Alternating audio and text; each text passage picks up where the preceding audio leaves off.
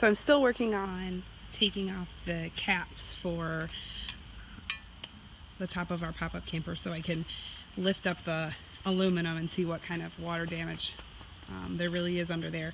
I know that there's a little bit more than I had originally thought um, because as I'm taking out screws in some parts, um, I'm literally getting screws that are oops, rusted or some that are literally like almost completely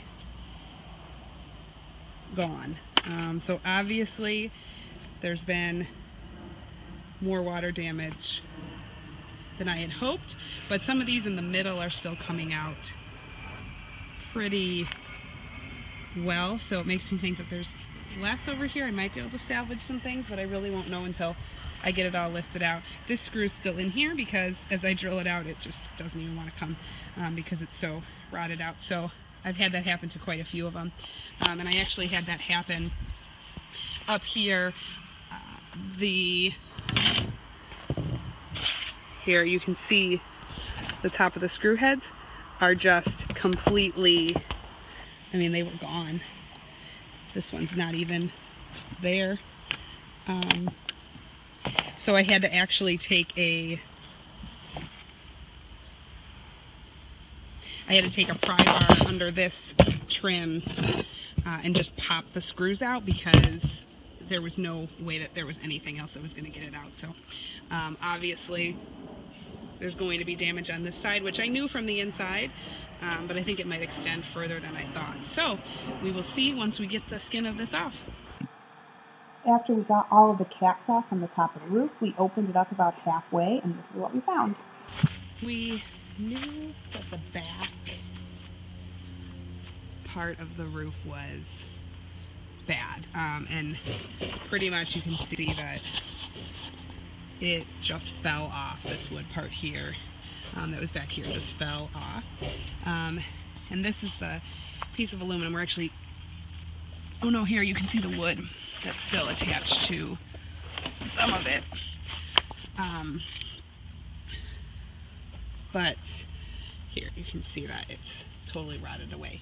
So inside that aluminum roof skin, there was this sheet of aluminum that was then attached to the plywood and then this piece of metal here. And this is the part that you could see inside the camper. You can see this bracket which the um, bed canopy hole goes into. So we'll be taking this off to save but then we're going to get rid of the rest of this. Um, so right now we are detaching the canvas um, from the inside. Our plan is to remove the sides of the roof as well as the back, which is already obviously gone. Um, and we're going to rebuild those. Um, we're hoping to keep the top of the roof intact and just put in some braces actually on the inside that then will stabilize everything um, in case there is a little bit of rot on the inside, which I'm sure there is a little bit on those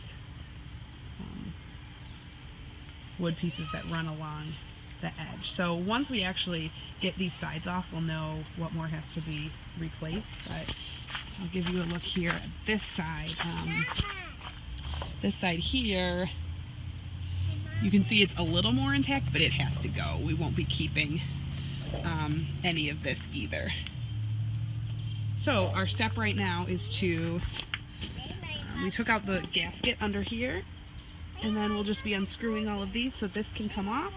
Um, we'll brace it with 2x4s so then we can unscrew these which are attached to the supports. Um, so once it's braced we'll do that and then we can take off all the side panels and go from there.